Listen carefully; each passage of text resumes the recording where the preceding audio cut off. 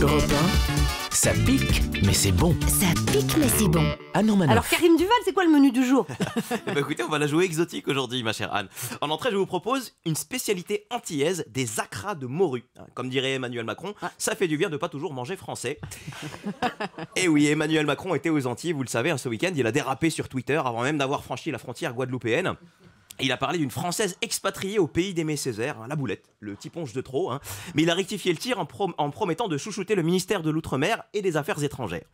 Non mais à part ça, Macron a fait très bonne impression aux Antilles. hein. J'ai une vieille tante éloignée, un tata Zéphirine qui vit là-bas. Elle est entièrement convaincue par son programme.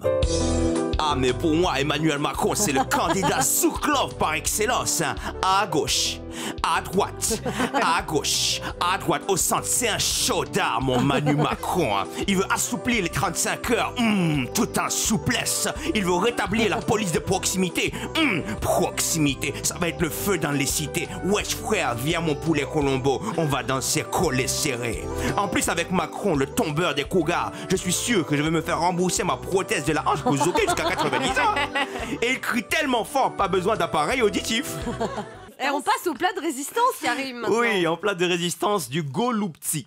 C'est des paupiètes de chou à la russe, hein. ça vend pas du rêve, mais il va falloir s'y faire. La Russie de Vladimir Poutine est en train de dicter sa loi. Alors attention, François Hollande a eu le courage de rester droit dans ses bottes, fidèle à lui-même, c'est-à-dire impuissant.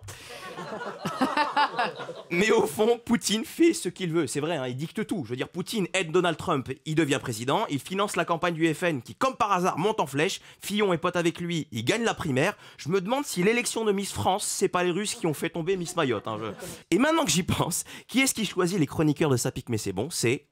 C'est moi. Eh non, Romanoff C'est Anne Romanoff, un nom à consonance. Russe. Tout est clair, tout concorde, tout s'emboîte, comme des poupées. Russe. Fini l'hégémonie américaine et place à la dictature russe. Russe. Parce que... bien, bien, bien. Fini l'hégémonie américaine et place à la dictature Russe. Parce que quand tu vois la gueule de Poutine, tu te dis, il reste la statue, mais sans la liberté. Europe 1, ça pique, mais c'est bon. Ça pique, mais c'est bon. Anne Romanoff.